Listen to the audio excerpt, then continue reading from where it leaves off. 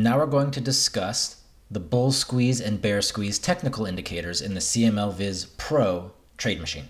You enter your ticker in the upper left hand corner, select the strategy you want to test. In this case, we will be looking at owning a call, avoiding earnings during a bull squeeze, and here are the results from left to right, going from in the money to out of the money. It's important to note that with the squeeze, oftentimes limits and stops help improve the historical returns. So watch what happens when we add a 40% stop and a 40% limit to these back tests that have won three out of four times and where the return is no larger than 66%. We'll enter in our stops and our limits, and now we'll look at the exact same strategies.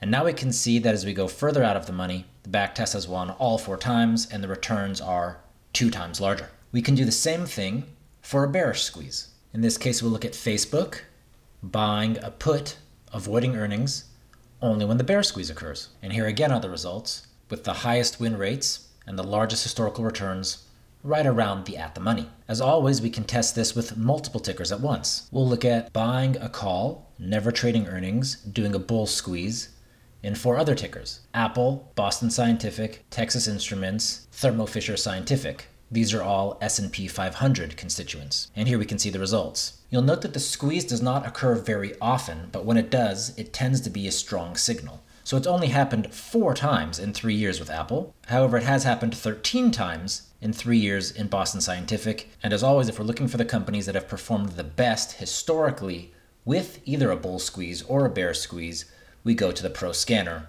and look under Buy Strategy. We can select our ticker group as always. And now, under the strategies for never trade earnings, we have added the bull and bear squeeze. Let's click on bull squeeze, sort by the number of wins, and now you can see the number of wins and losses, the win rate, the average trade return, the total backtest return, and on the final column, we have the technical state. If something is waiting for a squeeze, that means essentially it is not active right now. When a stock is in a squeeze, it must be in a squeeze for at least three days, and we detail that on the Discover tab. And you will see, for example, ticker HAS is now in its third day of a squeeze, which means that if it finds momentum tomorrow, either bullish or bearish, and if it breaks out of its technical low volatility area, it would be active as a backtest. Most of the time, we're going to see technical state of waiting for squeeze. Other times, we will see stocks that are in the squeeze and ready to break out. The same goes for the bear squeeze. We can sort by the number of wins, and if we come down and look at Amgen, we can see that Amgen's bear squeeze breakout started four days ago.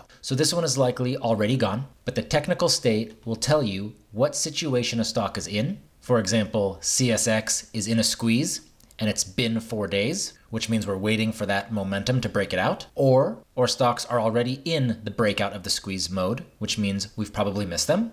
And then again, the final technical state, which is waiting for a squeeze. Coming soon, we will have intraday pricing starting at 12 noon Pacific time, 3 Eastern time, that will tell you the requirements for the stock closing price as to whether or not the technical signal has been triggered as of that day which is to say the scanner will turn into an intraday alert system. To look at a squeeze, we can always just click on the ticker.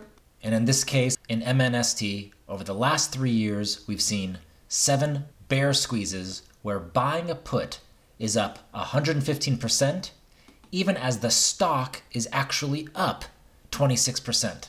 So we can now see the power of having a technical indicator that's both bullish and bearish it allows us to have a portfolio of option trades that benefit whether the market goes up or down. For an explanation or really an understanding of what a squeeze means, a bull squeeze or a bear squeeze, you can click on the Learn More link below the Open Trade When section, or you can just go to the Discover tab and look under Frequently Asked Questions, and we have an entire dossier on technicals in the TTM squeeze. If we tap on that link, we'll see a full description of what's going on, how we measure it, how it was discovered, what it means, why it hypothetically could work. A 30 second explanation goes like this John Carter was one of the first people to note this pattern, and he explained that stocks tend to trade in a very tight range for maybe 80% of the time, and then when they break out of that tight range, they tend to move rather large up or down. He called that 80% the quiet period, or the squeeze. And what we want to find are the times when the squeeze is ending, and then identify if the move is up